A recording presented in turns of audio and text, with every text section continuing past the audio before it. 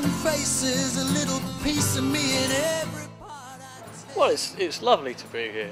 It's great that it's not raining. Mm. Yeah. Because that's all. I think as a performer, all you really care about at festivals is is the weather. Mm. You know, if it rains, it ruins everything for everybody. So if it doesn't rain, you know, whoa, it's not raining, and that's that's it really. I mean, the music should be all right. We we, I think we know what we're doing.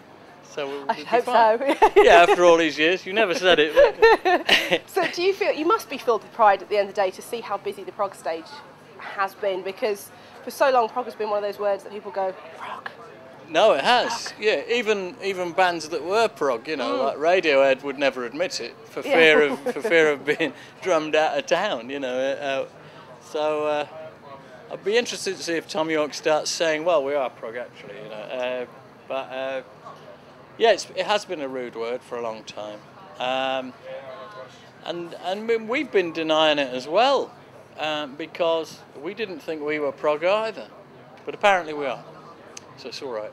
Do you ever get angry with the press because you've had a very troubled relationship with the press? The fans are right there behind you every step of the way, and sometimes the press have been a bit.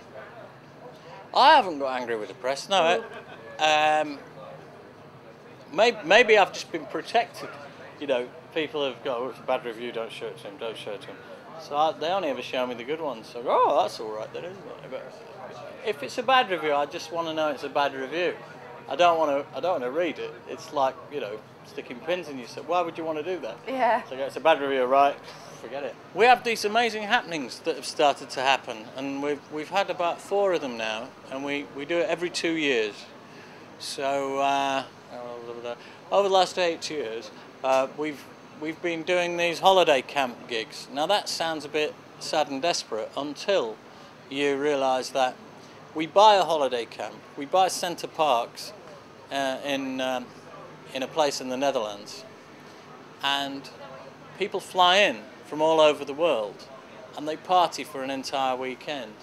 And they come from Brazil and Japan and Russia and all over Europe and America and Mexico and Venezuela and if you know Africa and everywhere on this earth they come and they fly in and they fly into Schiphol Airport um, and we put them on buses and we take them to Center Parcs and we sell the whole place out. We buy the whole place and they party for three days.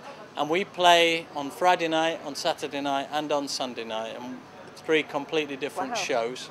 So we have to learn about eight hours of music, Mm. and God knows we've got at least that. You know, we've we've written and recorded a lot over the years. So um, over those three days, we, two and a half hours per day plus whatever we busk. Um, and it's the most incredible, incredible atmosphere. And it's been such a success in the Netherlands that we've added Montreal to it last time. And we go and we do the same thing again for three days in Montreal. Um, and um, it's, it's the most incredible, incredible thing. Um, and we get emails afterwards from, from the staff, these places, saying, we haven't had any trouble.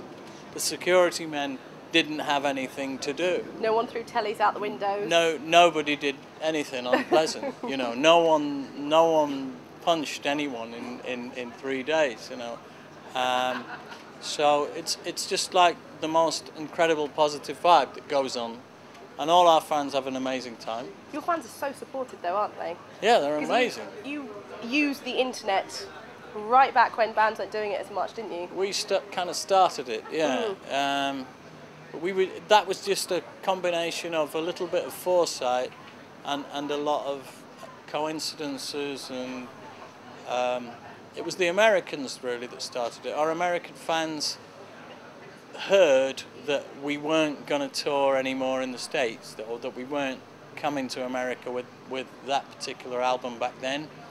And somebody put up, this was before internet browsers, when there were only things called notice boards. Now, you've no idea what I'm No, I talking no, about. I, I tried to pretend. I Right, nodded. And neither have I, because I didn't know what a notice board was either. And um, anyway, someone put a notice up on an internet notice board, which was what they used to have before they had browsers, saying um, Marillion aren't coming to America, it's too costly for them. I think the fans should raise the money. I've opened a bank account, and anybody who thinks they should come to send money here. Wow. Now we didn't know about this, and when we found out about it, they already had fifty thousand dollars, and in the end they raised one hundred and twenty thousand, That's unbelievable. and then they just gave it to us and said, "Come on." So we went to America, and Oh. we, you know, and and they all still had to buy tickets. The people who'd sent money Hmm. still had to buy tickets. So the the money wasn't to buy a ticket. The money was just to make it happen. And then we went and we played in the states, um, and we we played there for a month or so, and um, we came back to England and we all thought we've really got to get onto this internet because it's it's the future. You know, this is amazing. You essentially were the start of, of MySpace. We we ca well we were at that we were at the, the front end of all of that, and and back then. Oh, we just got I just got a whiff of, t- of Portaloo. I am sorry. yeah, that's disgusting. not, not me. that cleared the sinuses. Festival line. what would you say um, is your most rock and roll moment? Because that's got to be very rock and roll. Rock and roll. Oh, oh man. Um, meeting Neil Armstrong. You, you met Neil Armstrong. he that's came to one of our sound checks. Really? Yeah, he bought me dinner. That must have been kind of weird. I I drove him around the M25 from. Um, these are all separate incidents, but they're all. From I drove him from um, from Heathrow to Gatwick when uh, when there'd been a mess with the, his flight, because by then I knew him, and I drove him around the M25, and he was late. Uh, him and his son Rick um, were in the car, and I'm driving. Rick was in the passenger seat, Neil's in the back, and I'm going around the M25, and I'm driving quite fast because I know they're late, you know.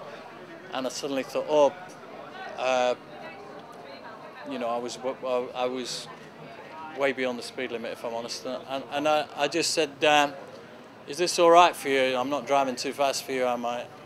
And he just went, uh, no, that's fine, from the back seat. And I thought, I've just asked Neil Armstrong, who was sat on a skyscraper full of liquid oxygen, if he's worried about me driving him fast around the M25. I don't suppose he would be, really, would he? Uh, so um, I realised what a stupid question.